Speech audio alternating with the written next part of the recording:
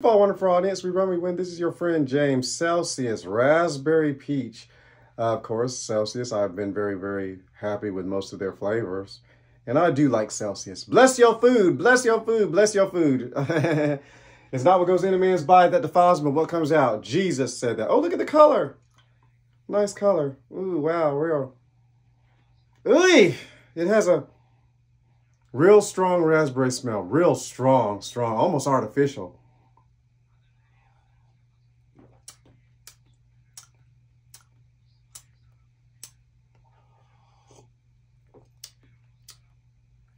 Ugh. This raspberry peach. I guess I don't like it because I'm not a raspberry fan, but it is raspberry peach. Both are there, but the raspberry, ugh. if it was a wrestling match, raspberry wins for taking over the flavor. So it's a hit for what it's supposed to taste like, but I ain't buying no more. Right, L. Let me be.